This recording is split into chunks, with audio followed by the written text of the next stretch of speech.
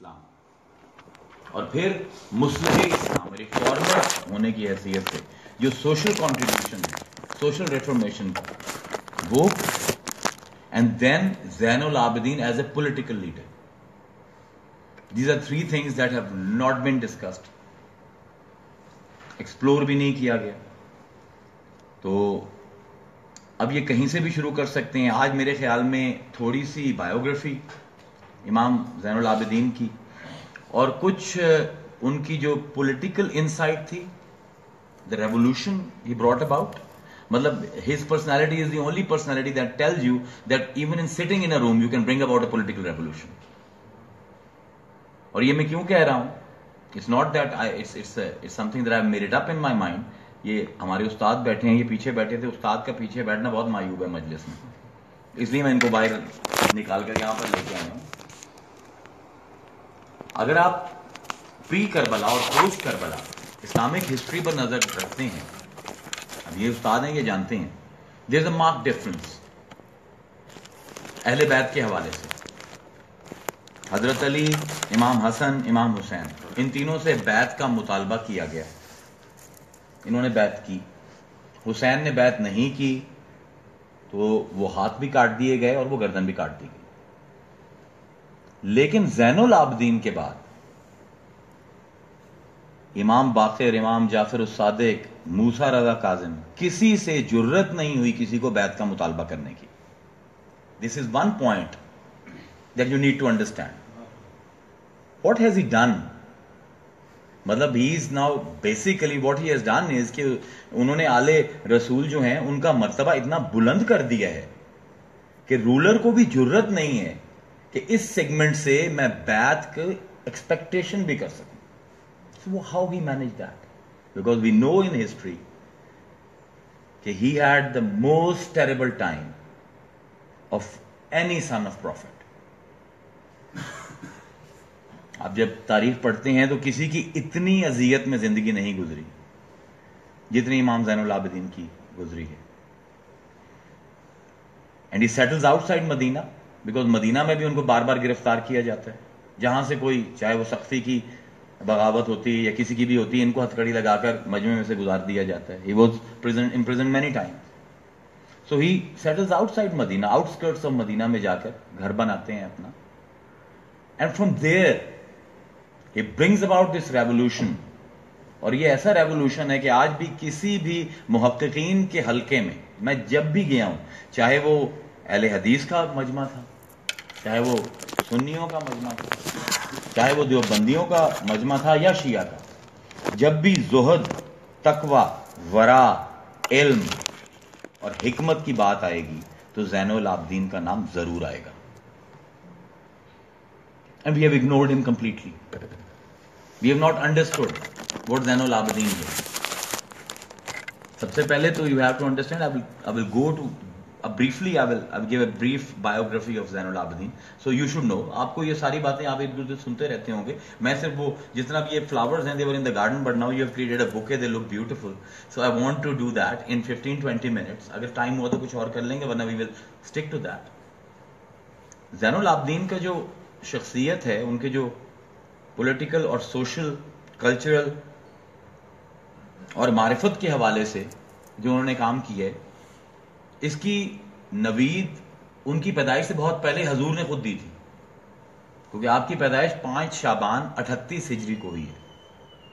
और जाबिर बिन अब्दुल्ला बहुत सक्का सिक्का रावी हैं हदीस के। और वो फरमाते हैं कि मैं हजूर के पास गया तो हजूर ने अपने बेटे हुसैन को अपनी गोद में रखा हुआ था। और जिस तरह हमें आदत होती है कि हम बच्चों के बाल सूंघते हैं तो ही वो स्मेलिंग है। And he said to me Jabir मेरे इस बेटे हुसैन के सुल्ब से एक बच्चा पैदा होगा। और जब कयामत आएगी और सब लोग हशर के मैदान में इकट्ठे होंगे तो एक नादी बहुत बर्क की रफ्तार से तमाम लोगों के दरमियान से गुजरेगा और एक ही सवाल करेगा ऐना जैनुल आबिदीन? ऐना जैनुल आबिदीन? जैनुल आबिदीन कहाँ है? Zain is adornment, and Abidin are worshippers. He is the adornment of all worshippers in the world और ये हजूर का अपना दिया हुआ खिताब। तो वो एक नादी गुजरेगा और वो बड़ा परेशान होगा और वो कहेगा है ना जैनुल आबदीन जैनुल आबदीन कहाँ है? वहाँ पे आपने फरमाया कि हुसैन का ये बेटा सामने आए और कहेगा अना जैनुल आबदीन, मैं हूँ Zainul Abidin. So you can understand कि in spiritual terms he someone जिसका पहले ही ज़िक्र कर दिया गया है। और इल्मी एतबार से मैं अब कहाँ कहाँ से बयान करूँ? चले, मैं अपने बिल्कुल ही घर से बयान कर देता हूँ। इमाम जलालुद्दीन सयूती, बहुत बड़ा नाम है हदीस में, बहुत बड़ा नाम है। उनकी किताब है इल्म मुस्तलक की। इल्म मुस्तलक वो इल्म है जिसमें रावियों पर बहस की जाती है। चेन ऑफ़ नरेशन उसके लिए अन का लफ्ज इस्तेमाल होता है। कि मैंने इनसे सुना, इन्होंने इनसे सुना तो हम कहेंगे, उजैर अनफला अनफुला अनफुला तो उस किताब में, ये असल में किताब जो है शरा है इमाम नबवी की, किताब की। बिकॉज़ वेरी कॉम्प्लिकेटेड बुक तो उसकी शरा लिखी इमाम जलालुद्दीन सयूती ने। तो उसमें ही attempt at finding the golden chain of narration उनके लफ्जों में दैट इज़ कॉल्ड असखाउल असानीद the strongest of all chains वो लिखते हैं कि the strongest of all chains in हदीस narration is three on Zainul Abidin बल्कि वो ये नहीं लिखा। उन्होंने लिखा है कि अन अली इबन हुसैन अन हुसैन इबन अली अन अली इबन अबी तालिब काल रसूल सल्लल्लाहु अलैहि वसल्लम वो लिखते हैं हाशिए में कि ये क्यों मैंने लिखा है? वो कहते हैं, इसकी वजह यह है कि इस चेन में कोई गैर आले रसूल शामिल नहीं। तो जहाँ पर भी कोई गैर आले रसूल, ये मुहदस ये मैं हदीस के दिल से बात कर रहा हूँ।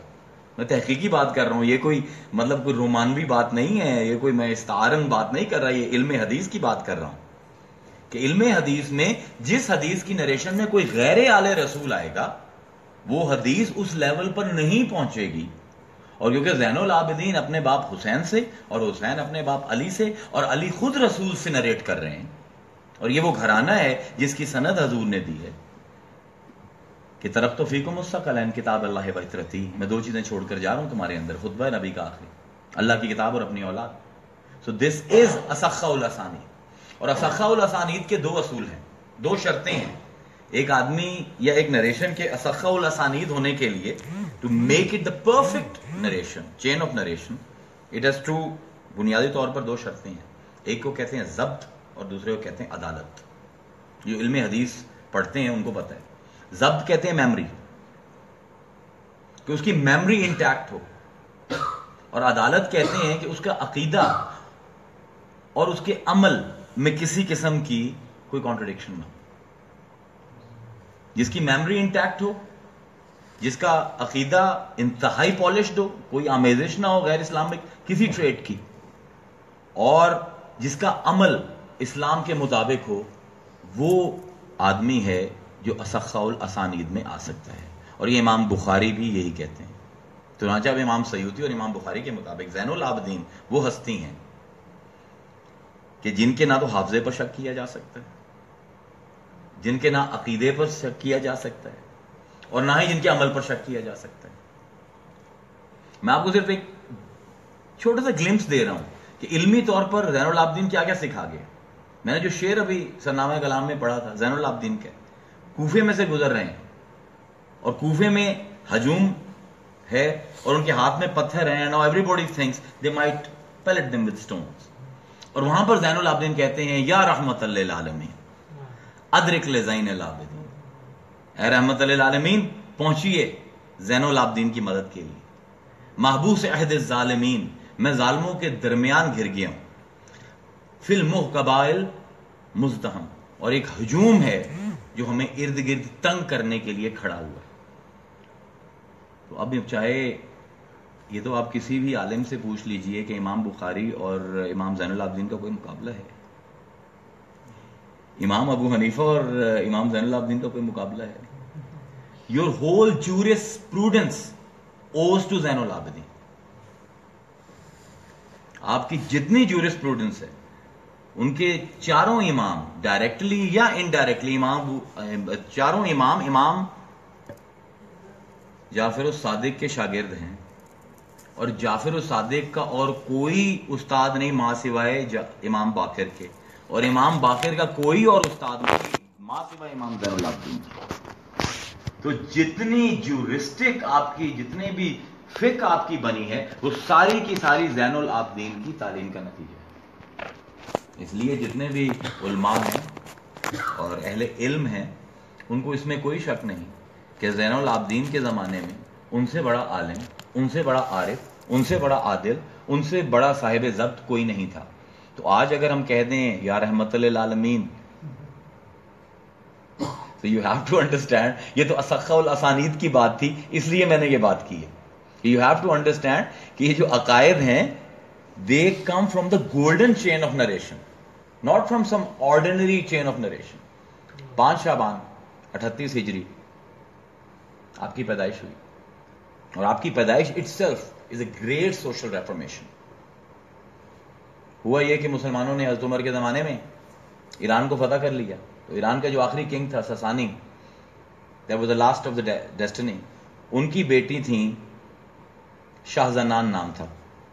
She came as a captive और आखिर इमाम हुसैन ने उनका निकाह करवाया इमाम इमाम अली ने इमाम हुसैन के साथ। It might seem like a very ordinary thing कि फतह हो गया एक इलाका और वहाँ से वो कैप्टिव आया है तो उसकी शादी करा दी गई है। No it's not you have to go into the history Persians and Arabs they hated each other you have no idea the amount of hatred वो तो खैर, अभी भी आप जानते हैं। तो सोचें कि साढ़े चौदह सौ साल पहले क्या हेट्रेड का आलम होगा। मतलब मैं एक, मैं आपको एक वाक्य बता दूँ कि अब्दुल मालिक बिन मरवान खलीफा था।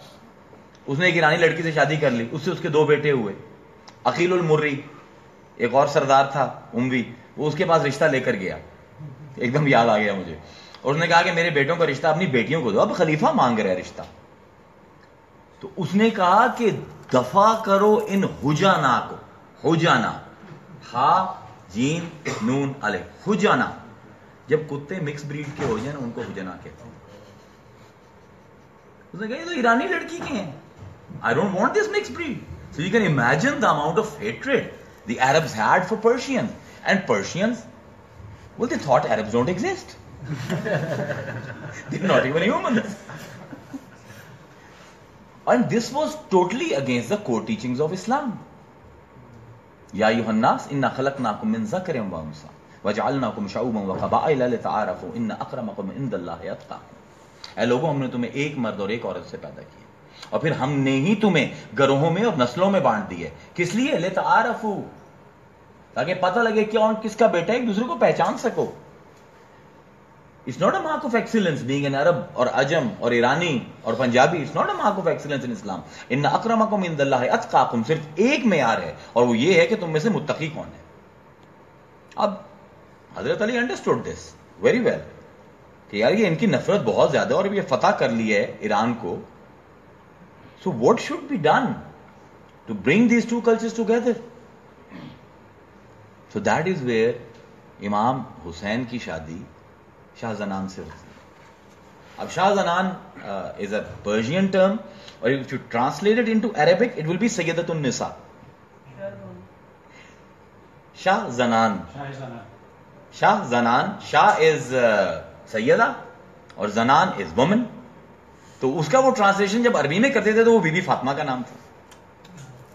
तो इसलिए ये लकब हज़रत अली ने उनको दिया शहर मानो असल नाम उनका शाहजनान है।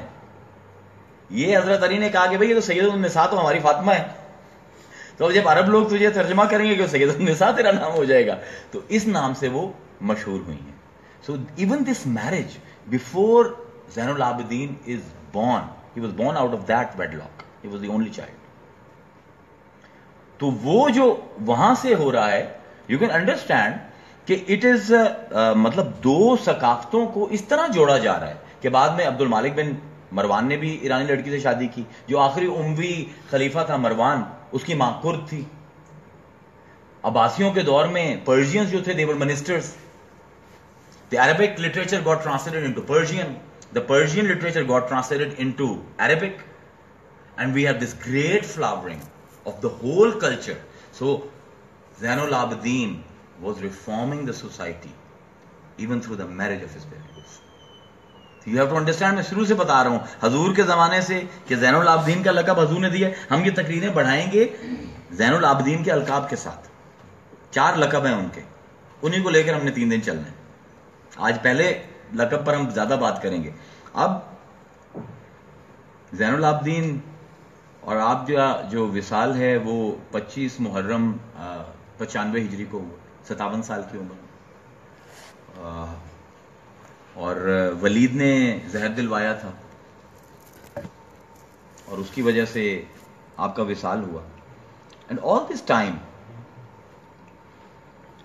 Zainul Abidin का कोई भी अगर आप चैप्टर जो जो मैं अपनी तीसरी तकरीर है, उसका थोड़ा सा खुलासा यहाँ बयान कर दूँ।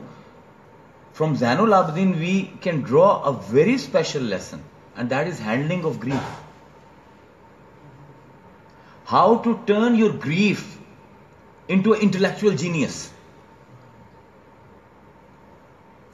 That is hallmark of Zainul Abidin भाई उस्तादों का पीछे खड़े होना में बिल्कुल बोल रहे भाई उस्ताद हैं उनको उधर जगह दीजिए।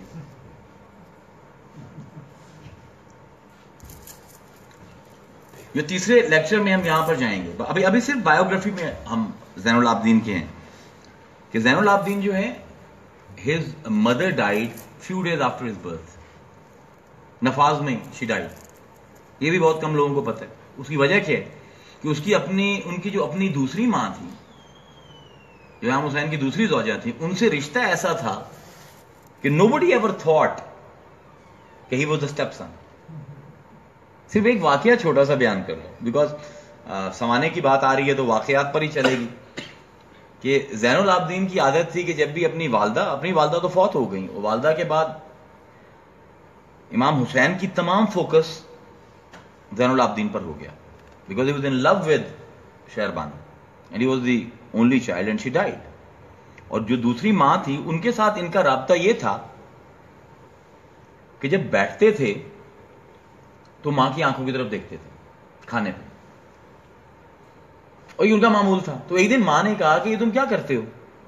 खाना खाया करो। तुम बैठ जाते हो मेरे सामने मेरी आँखें देखते रहते हो। तो कहने लगे कि मैं आपकी आँखें देखता हूँ कि कौन से लुकमे पर या दस्तर खान की किस चीज़ के ऊपर आपकी आँखें कहीं? ये ना हो, आपका दिल चाह रहा हो मैं वो खाऊं और मैं हाथ बढ़ा के पहले खा लू। तो मैं देखता रहता हूँ I try I follow your eyes when जब आप एक आँख एक चीज़ से उठा लेती हैं, तब मैं वो लेता हूँ, तब वो मेरे लिए हलाल होती है। तो जस्ट इमेजिन हम जो दूसरा लेक्चर है, इखलाक के ऊपर हमने इमाम के देना है। The kind of Ikhlaq he has what he what the legacy he left for us इल्म के हिसाब से दो तसानीफ छोड़ गए हैं इमाम। एक Sahifa Sajjadiya. It's a book of prayers containing 51 prayers it is prayer for everything बीमारी है दोस्तों के लिए असाब के लिए जंग के लिए बॉर्डर के लिए इज़्ज़त के लिए for everything he has a prayer would you, why somebody asked me कि अगर उन्होंने मारिफत ही देनी थी आगे तो दुआएँ क्यों उन्होंने इंतखाब किया? ये क्या बात थी? कि इल्मी खजाना ट्रांसफ़र कर रहे हैं और दुआओं के ज़रिए। तो मैंने उन साहब से कहा, वो साहब खुद भी बहुत बड़े आलिम थे। तो मैंने कहा कि मौलवी, तूने सब कुछ पढ़ा है। तूने हदीस नहीं पढ़ी। कहने वो कैसे? मैंने कहा, हजूर, की हदीस है कि अदुआ मुखल ईमान। अदुआ हुवल इबादत दुआ ईमान की जड़ है। It is the root of faith और फरमाया, हजूर ने कि दुआ खुद इबादत है। So basically, why Imam chooses prayers, dua, because he felt that the society had, had disconnected, had, had severed its relation with the God. With so much pouring of money, with so much rebellion, so much bloodshed. और बात कर रहे थे ना pre Karbala और post Karbala historian के लिए एक बहुत बड़ी एक चीज़ है। मैं तो हिस्टोरियन नहीं हूँ, लेकिन ये है कि करबला से पहले हुसैन को कत्ल किया जा रहा है, खेमे जलाए जा रहे हैं, सब कुछ लूटा जा रहा है। और जब वाक़ हर्रा होता है, यजीद के दौर में मदीना लूटा जाता है, मस्जिद नबी में भी अमान नहीं है, वहाँ पर घोड़े बंधे हैं, छावनी है, जो मस्जिद नबी में जाता है, कत्ल हो जाता है। हर घर में आग है उस दिन भी फौजी खुद कह रहे हैं कि अगर अमान चाहिए, जैनुल आबदीन के घर चले जाओ। This is a very very important point to understand what has he done ये हम दूसरे लेक्चर में देखेंगे कि हाउ ही मनूवर्ड लेकिन अभी बात ये हो रही है कि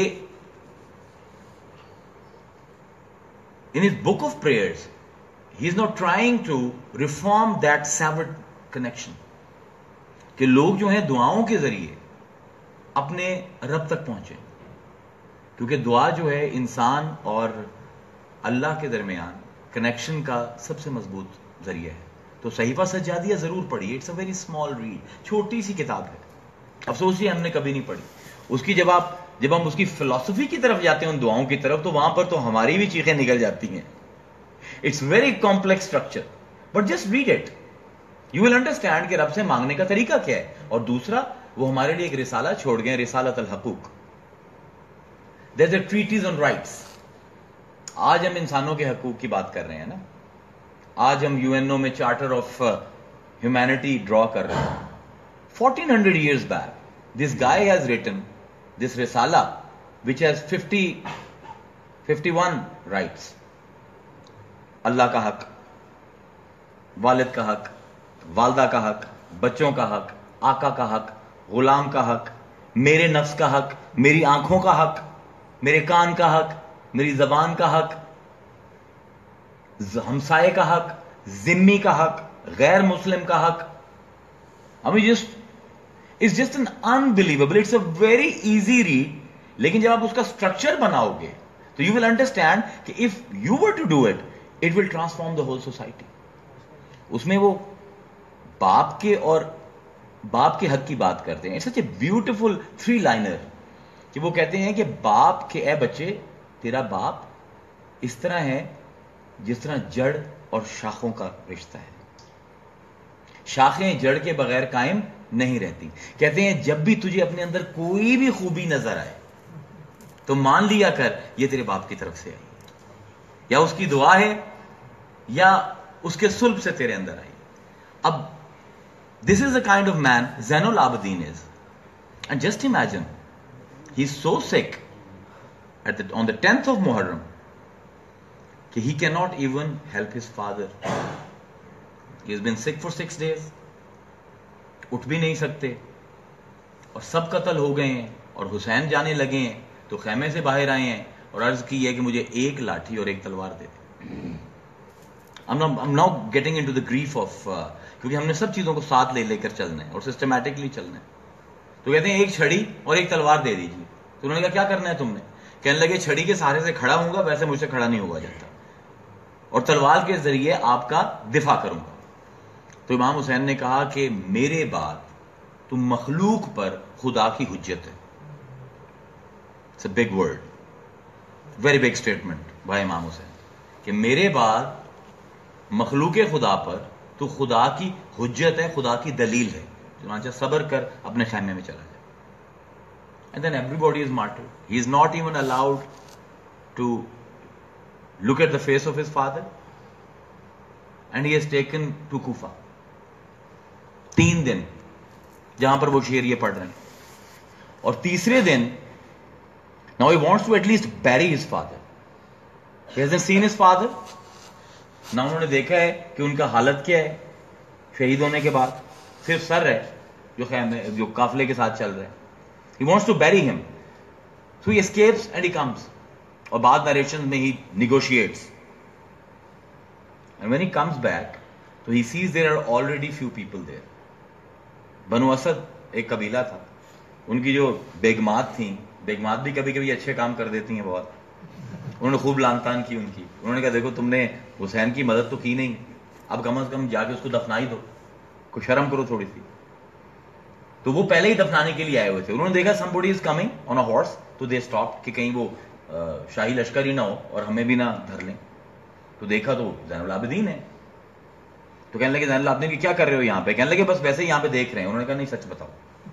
तो कहने लगे, दफनाने आए बीमियों ने बहुत ताने दिए तीन दिन से ताने खा रहे हैं, अब शर्म आ गई। कहने लगे, मैं भी दफनाने आऊँ, मेरी मदद करो. एंड ही सेड कि डिग थ्री ग्रेव्स तीन कब्रें खुदवाई उन्होंने।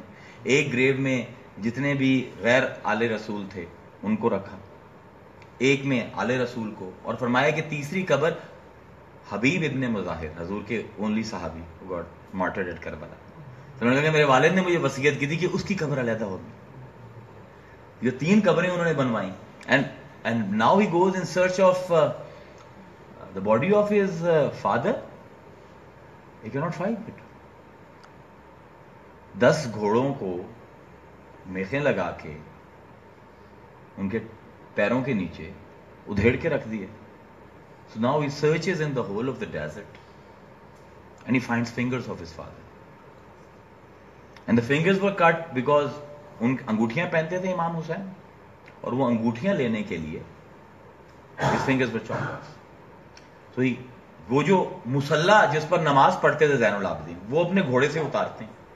And collects the fingers and then he collects his body because it's headless टांगे कहीं हैं, कुछ कहीं हैं। He recognize them puts them together and he buries his for and then he can never get out of this shock in his life Karbala stayed with him for ever कमाल ये है जैनदीन का। कि हमें अगर आज कोई आज ग्रीफ होता है तो we we would like to find a deviation from it we would like distraction he never distracts from Karbala and at the same time he brings about this intellect, he gives us this intellectual heritage. He gives us this political heritage he gives us जो उनकी सीरत है it is अनपैरल इन इस्लाम कल जब हम इस पर बात करेंगे सीरत जैनुल आबदीन पर it will really shock you what kind of person was he क्या क्या लेसन हमें दे गए and then he brought about this political change but at the same time, he never dislodges himself from this grief. That is his hallmark.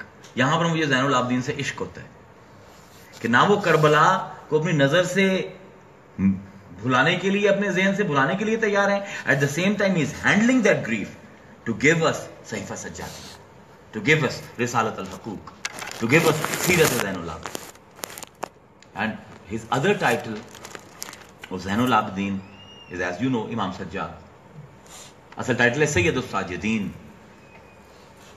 Is a Syed जितने ज़िंदगी में जितने भी लोग सजदा करने वाले हैं। कहा जाता है कि जो सजदा जैन जैनुलाबदीन ने की है, बहुत कम के नसीब में है। So we can take the in in the third lecture we can talk about his philosophy of worship क्योंकि उनका पहला टाइटल जैनुल आबदीन मैंने आपको बताया इबादत बहुत करते थे। दूसरा है सैयद साजिदीन और सजदा वो इतना करते थे कि उनसे एक इनका टाइटल बनता है। और क्या खूबसूरत टाइटल है।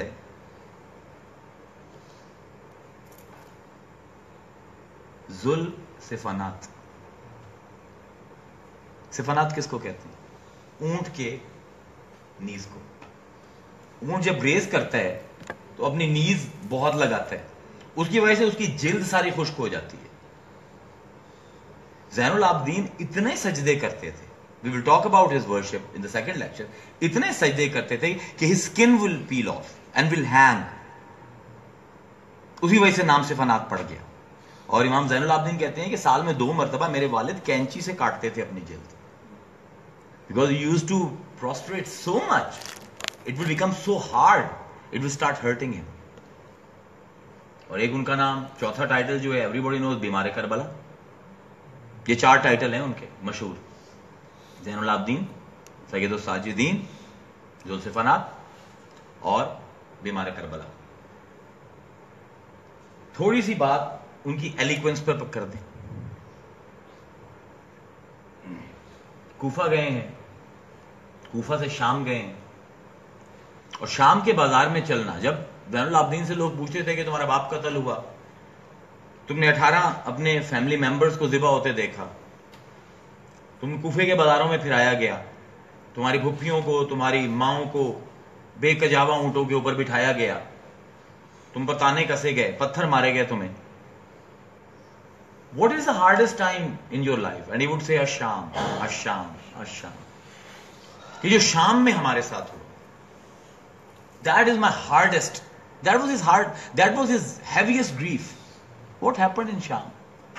He's walking in the bazaar और ऐलान कर दिया गया है कि कुछ लोगों ने खरूज किया था खलीफाबाद के खिलाफ खारजियों को कत्ल कर दिया गया उनकी फैमिली को हमने महबूस कर लिया और हथकड़ियाँ लगे हुए जैनुल आबदीन और गले में तोक है। He can not move much because वो कांटेक्ट होता था, वो अरबों की एक, पूरा एक फिलोसफी है टॉर्चर की। जो कैदियों के साथ वो करते थे। You could not move your feet more than three four inches and if somebody among you has been to Syria they know कि वो जो उनका वो कवर्ड बाज़ार है, वो कितना लंबा है। तीन, साढ़े तीन किलोमीटर है। और खचाखच भरा हुआ था। और चल रहे हैं, सर झुकाकर। एक बंदा सामने है कहने लगा, मुझे देखो। पहचाना मुझे? कहने लगे, नहीं। तो कहने लगे, मैं साहल बिन सादी हूँ। मैं तुम्हारे नाना का साहबी हूँ। तुम्हें इस हालत में देखकर मेरा कलेजा फट रहा है tell me this anything I can do for you तो जैन अब्दीन सेज कि just bring me a small piece of cloth do you have any money on you तो कहते हैं हाँ थोड़े से पैसे हैं। कहते यार, छोटा सा एक टुकड़ा कपड़े का ला दो मुझे। तो वो कहते क्या करना है तुमने छोटे से टुकड़े को? कहने लगी, जब से कूफे से चला हूँ, ये जो इन्होंने मेरे गले में तौक डाला था, इसकी एक साइड टूटी हुई है and it got into my neck every time I move it just pains me so much एक कपड़े का टुकड़ा ला दो, जिसको मैं अंदर रखकर अपने आप को थोड़ी सी राहत पहुंचाऊं। So much pain so much grief और ऊपर से rush and every the caravan gets jammed before the court of Yazid मैंने वो मस्जिद भी देखी है। तो एक मस्जिद है, छोटी सी कॉर्नर पर, जिसमें हज़रत उमर ने नमाज़ पढ़ी थी। वहाँ पर वो जा रहे हैं और इतना जैम पैक्ड हो गया कि for three hours nobody could move an inch और एक इमाम मस्जिद नमाज़ पढ़ के बाहर निकलता है, बूढ़ा। और देखता है और थूकता है। वो कहता है कि बहुत अच्छा किया, अल्लाह ने तुम्हें जलील किया। अब he is in so much grief he is been defeated his family is annihilated he is being humiliated by his own उम्मत अपने नाना की उम्मत के हाथ में जलील हो रहे हैं। तो कहते हैं कि मैं क्यों जलील हुआ? कहने लगे, मियाँ, तूने कुरान पढ़ा कहने अल्हम्दुलिल्लाह हाफिज। तो कहने लगे, तूने आयत मुबद्दत पढ़ी कहना हाँ। कहते हैं, क्या है? जो मैंने अभी सरनामा कलाम में पढ़ी थी। कि अल्लाह ताला फरमाता है कुल्ला असअलुकुम इलैहि अजरन। ए नबीन से कह दीजिए कि मैं जो तबलीग करता हूँ, तुम्हें अल्लाह का दीन पहुंचाता हूँ, मुझे इसके लिए कोई अजर नहीं चाहिए तुमसे। I don't want any payment just one payment इल्लल मुबद्दत फिल कुर्बा। मेरे रिश्तेदारों से मोहब्बत करो और मुवद्दत करो। मोहब्बत नहीं, मुवद्दत। देर इज़ डिफरेंस इन मुरवत मोहब्बत, मुवद्दत। अलग अलग टर्म्स हैं। अल्लाह का एक नाम है अलवदूद। अलवदूद कौन है? Who will love you at any cost चाहे आप उसकी नाफरमानी कर दो, तब भी वो मोहब्बत करेगा। अलवदूद is a constant connection of love between two people तो हजूर फरमाते हैं, जो कुछ हो जाए, मेरे करीबी रिश्तेदारों से मुवद्दत करो, मोहब्बत नहीं, और वाजिब है, कुरान की आयत है। और अल्लाह फरमा रहा है कि इनसे कह कि जो तेरे रिश्तेदार हैं, उनसे मुवद्दत का रिश्ता कायम करें। तो बूढ़े ने कहा हाँ आयत मुझे पता है। जब पढ़ दी उसने तो कहने लगे कि तूने आयत तथहीर पढ़ी कहने लगा, पढ़ी कहने लगे, वो क्या? वो भी मैंने सरनामा कलाम में पढ़ी थी। कि अल्लाह फरमाता है कि इन नमा इन नमा हसर कसीर है। बस के बस ये बात। This is now you can not debate it हसर जब आता है अरबी में इन नमा उसके बाद आप डिबेट नहीं कर सकते। इन नमा युरीदुल्लाह। बस के बस ये बात कि अल्लाह ने इरादा कर लिया है। किस चीज़ का? इन नमा युरीद युज हेबा अनकुमुर रिज्स या अहलल बैत। या अल्लाह ने इरादा कर लिया है कि तुमसे रिज्क को, हर गंदगी को दूर कर देगा। वह युता हिरोकुम तत्हीरा, और तुम्हें ऐसा पाक करेगा जैसा पाक करने का हक। कहने लगा बड़ी है। उस वक्त वो बाबा जो था, उसने गौर से चेहरे की तरफ़ देखा। कहने लगा कि, नौजवान, तू वो आयतें मुझे क्यों याद करवा रहा है जो आले रसूल के लिए आई हैं? जो अहले वैद के लिए आई हैं? तू तो खारजी है, और तू तो असीर है, तू तो कैदी है तो उस वक्त इमाम का जब्त खत्म हो गया। रोने लग गए, फरमाने लगे, नहन हम, वो अहले बैत हम हैं, जिनके बारे में कुरान वाजिब कर रहा है मोहब्बत मुसलमानों पर जिनकी तदहीर की गवाही कुरान कर रहा है, नहनो हम, ये वो अहले बैत हम हैं। अब उस बाबे ने ऊंटनियों पर देखा, बेपर्दा औरतों को। कहने लगा, ये कौन है? कहने लगी, ये मेरी फूफी है, ये मेरी बहन है। उस वक्त उसने अपना अमामा उतारा और जैनुल आबदीन के पाँव में और कहने लगा कि अब मैं लेट रहा हूँ कारवां के सामने। अपने पाँव मेरे सीने पर रख और हुक्म दे दे पूरे कारवान को कि मेरे सीनों को और मेरी आँखों को कुचलता हुआ चला जाए। आपने कहा, क्यों? क्यों कह रहे तू ये? कहने लगा, तुम्हारे नाना को क्या मुँह दिखाऊँगा? कि जिनकी तस्वीर के लिए आयतें उतर रही हैं जिनकी मुवद्दत वाजिब हो रही है। हम सब लोग बैठ के उनका तमाशा देख रहे हैं। Such a difficult time he was made to wait for eight hours Yazid के महल के सामने। And this guy he should be broken by that time he should be broken I तीस दिन का सफ़र करके आ रहा है। बाप का सर नेजे पर है। नेजा इसके हाथ में दिया हुआ छोटे छोटे बच्चे हैं पीछे, उनके सर कलम करके। He should be broken should be down and out Yazid के दरबार में खड़े हो। यजीद आए। तीन मुतालबे किए जैनुल आबदीन। या मुझे वापस जाने दो मदीने। दूसरा मेरे बाप का कसास चाहिए मुझे। तीसरा मुझे तकरीर करने दो। और दिस इज़ अनबिलीवेबल ये just 22 years old between 22 and 23 ये अली का खून है। अब ही सेइंग कि तू मुझे आज़ाद कर दे। तब भी मैं कुछ करने के काबिल हूँ। कसास दे दे, तब भी मैं कुछ करने के काबिल हूँ। और अगर सिर्फ़ बोलने दे, और फिर वो उन्होंने तकरीर की, जो खुतबा जैनुल आबदीन के नाम से मशहूर हुई। It's a masterpiece of Arabic such eloquence मैं सिर्फ़ तर्जमा थोड़ा सा बयान करता हूँ। जदीद ने कहा, तेरे दो मुतालबे मैं नहीं मानता, तीसरा मानता हूँ। बोल ले। मेंबर पर चढ़ा दिया। मेंबर पर खड़े हो गए। और कहने लगे, लोगों को, तुम में से जो मुझे पहचानते हैं, वो मुझे पहचानते हैं। और जो नहीं पहचानते, वो अभी पहचान जाओगे। फरमाया, और क्या खूबसूरत लफ्ज है इमाम के, कि मैं मक्का और मिना का बेटा हूँ। मैं जमजम और सफ़ा का बेटा this is beautiful and just flows in poetry जो लोग अरबी पोएट्री जानते हैं they just it just intoxicates you these words मैं मक्का और मिना का बेटा हूँ। मैं जमजम और मुस्त और और सफ़ा का बेटा हूँ। जितनों ने भी अपनी चादरों में हजर असवद को उठाया है, उनमें सबसे अफजल तरीन जो था उसका बेटा अल्लाह के घर के जितने भी लोगों ने तवाफ किए हैं, कयामत तक जितने भी करेंगे, उनमें से जो अफजल तरीन है उसका बेटा हूँ। मैं उसका बेटा हूँ जिसको रातों रात अल्लाह मस्जिद हराम से मस्जिद अक्सा लेके, मैं उसका बेटा हूँ जिसने मलाइका को जमात कराई, मैं साहेब सिदरतुल मुंतहा का बेटा हूँ, मैं मोहम्मद मुस्तफ़ा का बेटा हूँ, मैं अली मुर्तजा का बेटा हूँ। मेरा बाप वो था जो दो तलवारों और दो नेजों से लड़ता था और दोनों तलवारें भी टूट जाती थी, अल्लाह के लिए लड़ते हुए और नेजे भी टूट जाते थे। मैं हैदर करार का बेटा क्या खूबसूरत लफ्ज हैं। क्या खूबसूरत लफ्ज हैं। और फिर कहा कि मैं सैदा शबाब अहल जन्ना, जन्नतियों के जवानों के सरदार हसन और हुसैन का बेटा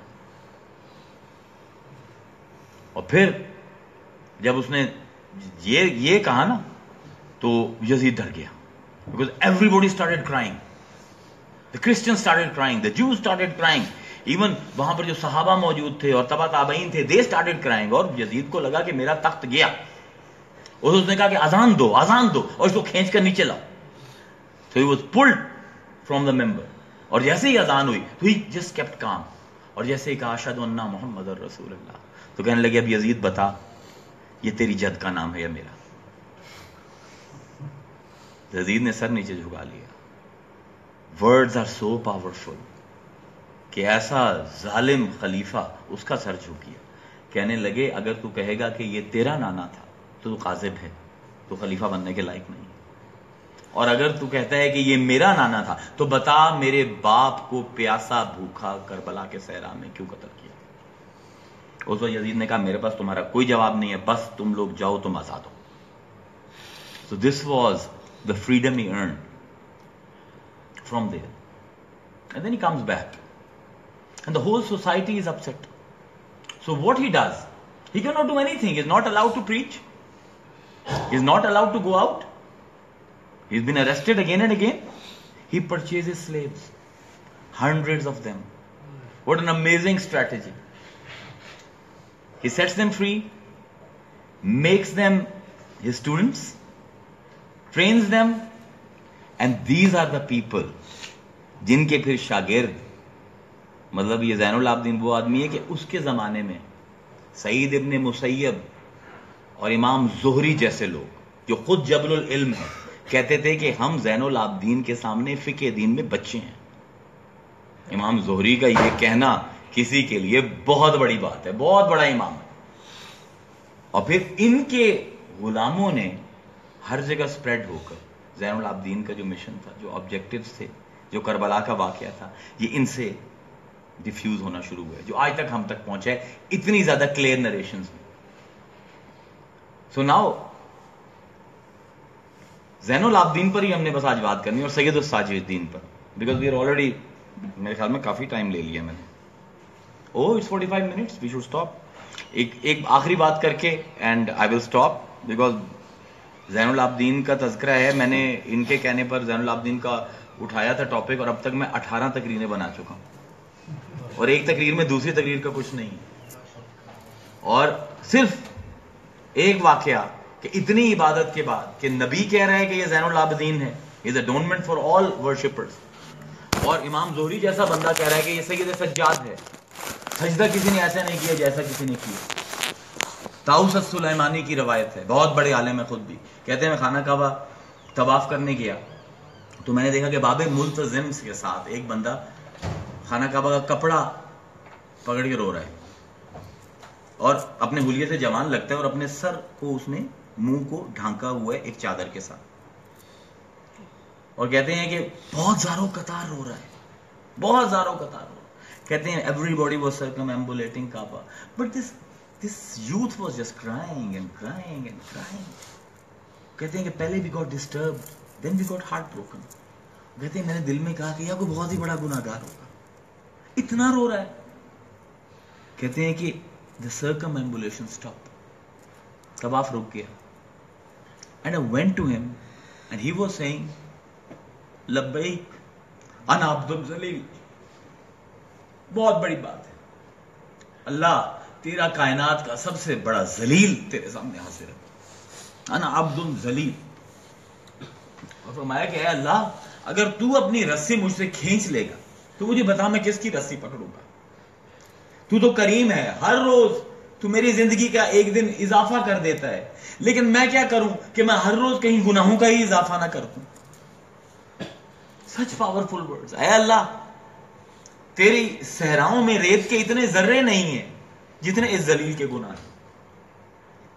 तेरे समंदरों में पानी की इतनी बूंदे नहीं है जितने तेरे इस बागी के गुनाह हैं। तेरे कायनात के दरख्तों पर इतने पत्ते नहीं हैं, जितने तेरे इस सरकश के गुना हैं। तेरी आसमान और ज़मीन की इतनी वसत नहीं, जितने मेरे गुनाह हैं। अल्लाह अल्लाह अल्लाह, मैं तेरे सामने हाजिर हूँ। अब तेरी मर्ज़ी चाहे जैसा मेरे साथ मामला कर ले। मैं तेरे हर मामले से फिर तेरा सबसे बड़ा बागी, तेरा सबसे बड़ा सरकश, तेरा सबसे बड़ा गुनागार तेरे सामने हाजिर है। इमाम जोरी कहते हैं, ये बातें जोरी तो मेरा दिल फट पड़ा। मैंने कहा अल्लाह, मैंने ज़िंदगी में जितनी नेकियाँ की हैं, मैंने जितने तवाफ किए हैं, जितने आज किए हैं, वो सब मैं इस नौजवान को देता हूँ। जो इसके गुनाह है माफ़ कर दे? कहते हैं कि सारे लोग आ गए, काबे को भूल गए सारे। सबने उसके दामन को पकड़ लिया और कहने लगे कि, ए दुनिया के सबसे बड़े गुनाहगार, हम सारी नेकियाँ तेरी झोली में डालते हैं और हम अल्लाह से कहते हैं, अल्लाह, तुझे माफ़ कर दे। कहते हैं, उस वक्त मोजिन ने अजान दी। और सुलेमानी कहते हैं कि मैंने जब नकाब उठाया तो जैनुल आबदीन थे। कहते हैं उनके कदमों पर गिर दिया कि इमाम आपसे बड़ा मुत्तकी, आपसे बड़ा आलिम, आपसे बड़ा जाहिद, इस वक्त दुनिया के तख्ते पर नहीं है। आपका ये हाल है तो हम गुनागार कहाँ जाए? Just imagine the humility this guy has जिसको उसकी पैदाइश से पहले जैनुल आबदीन कहा जा रहा है। पैदाइश के बाद उलमा उसको अपना उस्ताद कह रहे हैं। इमाम सज्जाद कहा जा रहा है। लुक एट ह्यूमिलिटी हज पर तशरीफ़ लेकर के। किसी ने कहा तलबी शुरू की, लब्बैक अल्लाहुम्मा लब्बैक। खामोश है।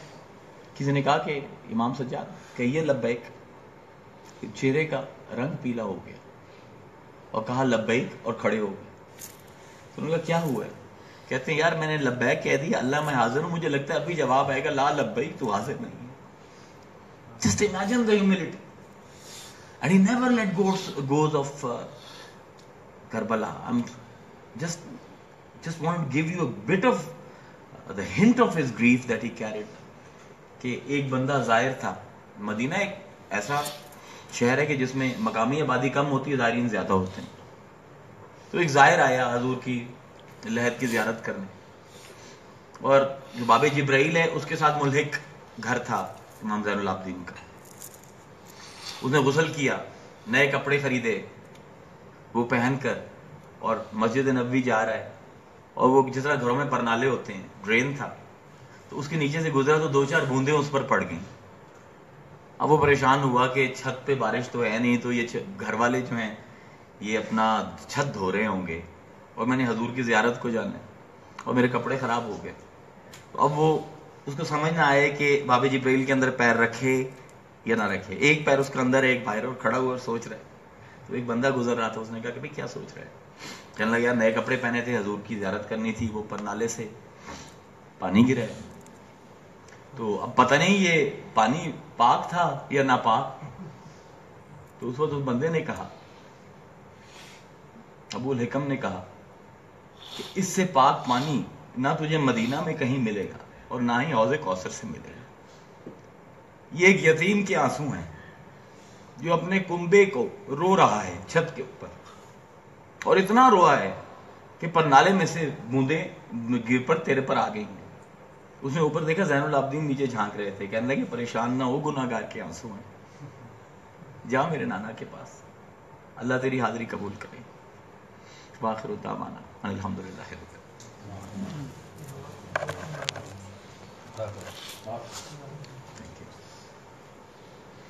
तो कल हम इंशाल्लाह इमाम के अखलाकियात पर बात करेंगे। दुआ करें। बिस्मिल्लाहिर्रहमानिर्रहीम अल्लाहुम्मा सल्ली अला मुहम्मद व अला मुहम्मद व बारिक वसल्लम। रब्बना आतिना फिद दुनिया हसना व फिल आखिरति हसना व क़िना अज़ाबन रब्बना ज़लमना अनफुसना व लम तगफिर लना व तरहमना लनकुनन्ना मिनल ख़ासिरीन। अल्लाहुम्मा तुब लना क़ब्ल अल-मौत वरहमना इंदल मौत व ला तुअज़्ज़िबना बअदल मौत। वहवन अलैना व अला जमीइल मुमिनीन वल मुमिनात सक़लतन सल्लल्लाहु तआला खैर खल्क़ि मुहम्मद व अला आलिहि व असहाबिहि अजमईन